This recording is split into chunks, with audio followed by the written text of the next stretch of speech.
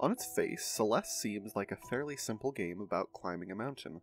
You play the role of Madeline, a young woman who sets herself the goal of scaling Mount Celeste. Over the course of the game, however, it becomes apparent that the literal events are largely an allegory for the internal struggles that Madeline goes through. It's fair to say that the use of climbing a mountain as a metaphor for overcoming challenges is nothing new. Hell, another game with that very premise was released around the same time. But Celeste's meditations on the nature of anxiety and how those with mental illness cope are some of the most nuanced and thoughtful I've ever seen. So I've decided today to examine some of the ways that this marvelous game explores its themes.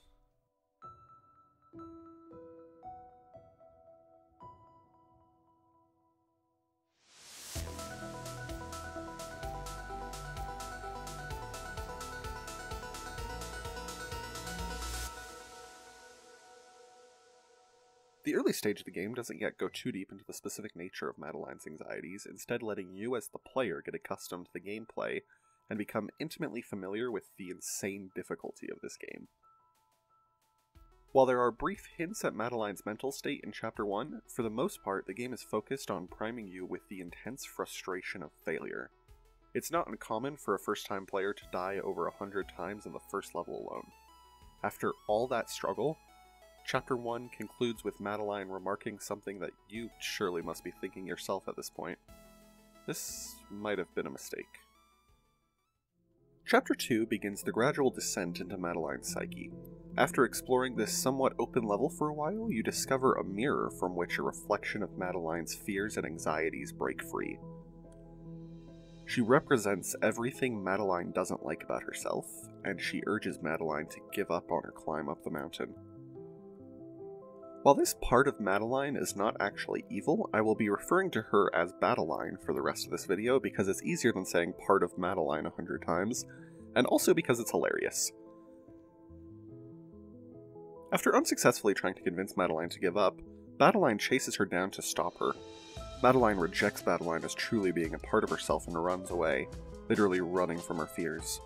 After escaping from Badeline and getting a call from some unnamed person from her past, Madeline eventually realizes that this was all a dream, and wakes up right where you ended Chapter 1.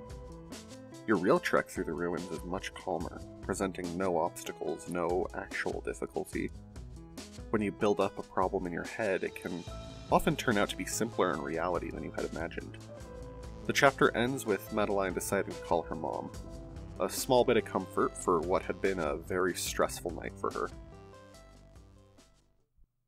It's worth noting that the issues that Madeline faces are not the only ones the game touches on. Up to this point, the player has also seen how fellow traveler Theo is slightly obsessed with his social media presence, not necessarily to an unhealthy degree, but certainly enough to warrant some self reflection. Similarly, Chapter 3 is almost wholly dedicated to examining the mental state of the slightly less than living hotel manager Oshiro.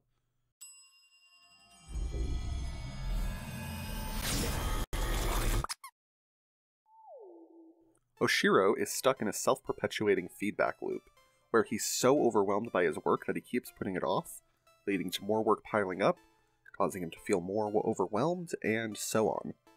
He feels like it's his duty to take care of the work he has put off, and is ashamed of the fact that he needs other people's help to lessen his enormous workload.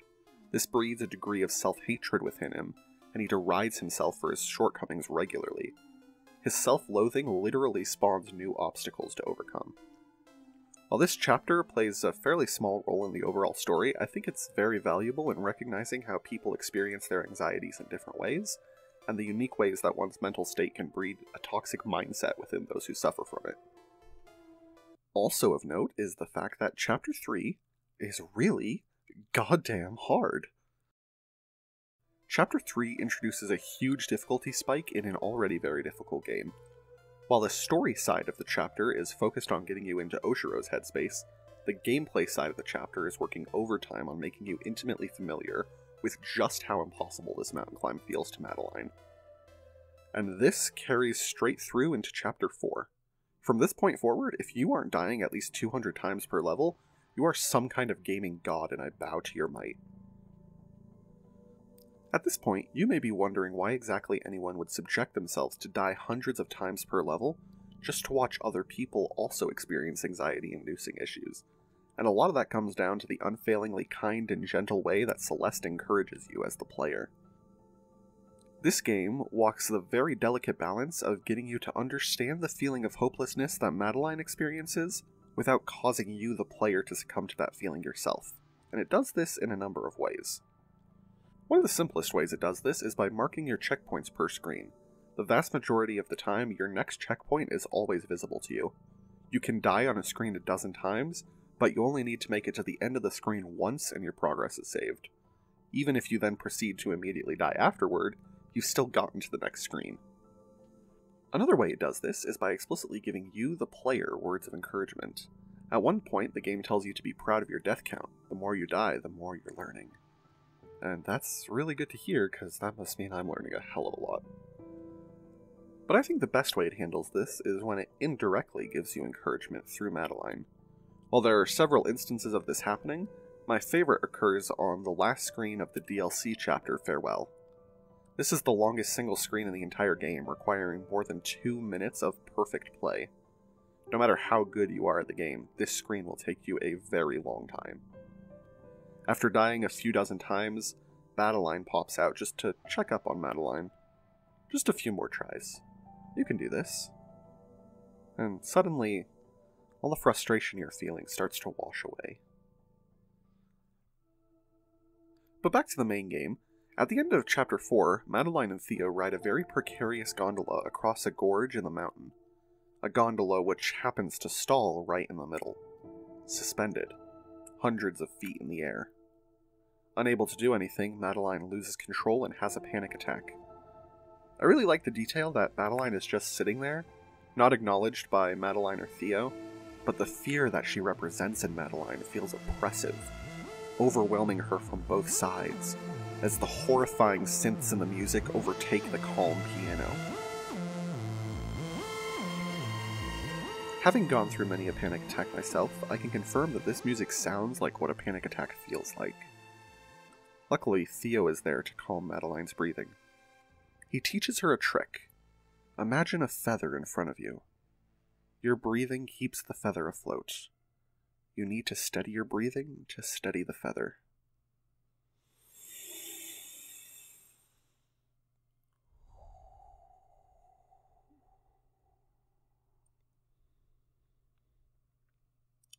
This is a pretty simple technique, all things considered, but I myself have found use in this trick since I first played the game.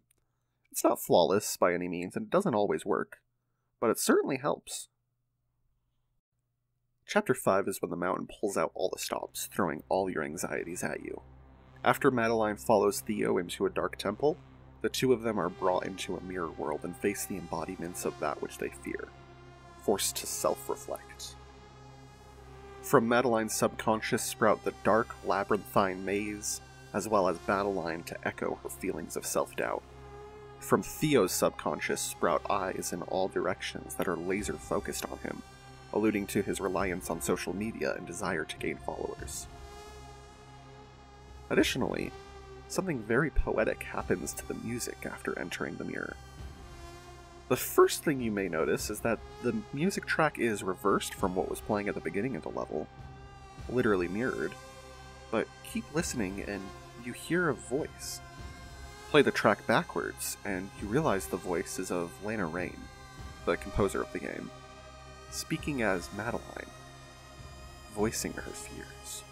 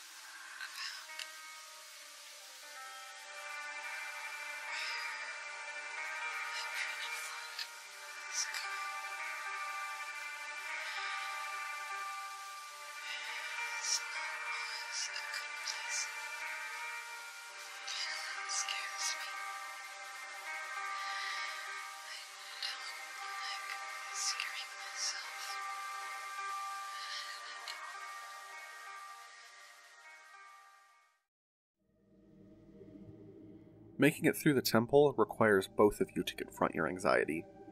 While it can often feel like you are suffering alone, you aren't, and accepting help from trusted friends can often help you overcome it. While the exact nature of your suffering and the degree to which you feel it will be unique for everyone, they'll understand and sympathize with what you're going through more than you may think. After the grueling slog that was Chapter 5, Madeline decides in the beginning of Chapter 6 that she needs to take care of the Badeline situation. And she does this by deciding to abandon Badeline, to pretend she isn't there. Remember, Badeline is part of Madeline. For all intents and purposes, Badeline is Madeline. There's no getting rid of her. Badeline fights back in a bit of self preservation, sending Madeline into another panic attack, and she falls to her lowest point.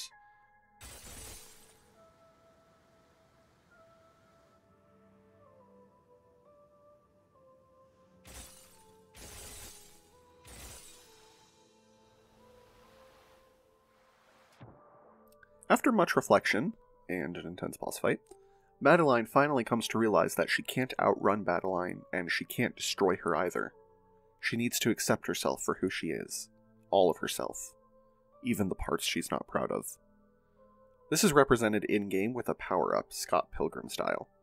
By accepting Badeline as part of herself, Madeline gains an additional dash. Scott earned the power of self respect. With this, Madeline is ready for the final push. Right out the gate, the music in Chapter 7 is hyping you up, telling you that you can conquer this mountain. Yes, you fell down, but you've also improved. Your retread through the old areas feels less like a forced reset, and more like a parade celebrating just how much you've accomplished. The music shapes into more determined overlays of the previous songs you've heard. You will conquer the mountain this time. Madeline and Badeline are still not wholly confident, but they're now working in tandem rather than against each other, shoring up each other's shortcomings and insecurities. When you accept every part of yourself, the whole is greater than the sum of its parts. My favorite moment in the music track happens when you reach 3,000 meters, just after you get through the Mirror Temple a second time. The music kicks back into high gear as if to tell you, Alright, you made it back to where you fell from. Now let's do this. 3000 meters also introduces my favorite mechanic, the checkpoint flags. Starting here, a countdown starts from 30. Your goal is no longer to make it all the way to the next screen, you just need to make it to the next flag. And oh boy is it satisfying to make it to the next flag. Each time you do, you're rewarded with confetti, getting one flag closer to the summit. Every new flag reached feels like having dopamine injected directly into your brain.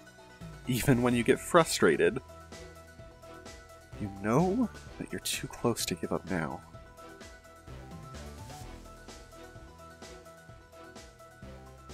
You know you can overcome it.